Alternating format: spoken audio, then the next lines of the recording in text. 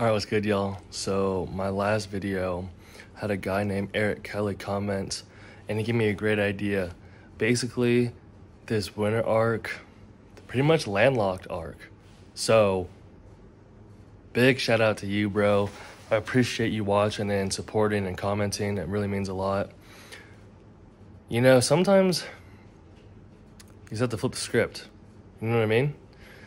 Make the most of it. One one motto I always try to live by is what use what you got. You know, if you only have a few things, make the most of it. If you only have a few opportunities, make the most of it. Yeah, I probably look horrible. I'm a little sick, under the weather, and I'm also on maybe four hours of sleep yesterday got a little sleep, got a half an hour nap before we left, and then a little nap or two in the car, maybe an hour and a half, and then got back this morning at 8 something after driving pretty much. It was a 13 hour drive with stops, and I probably drove for 10 of the hours or something. So, yeah, I'm gonna get some good sleep tonight. But, change the narrative.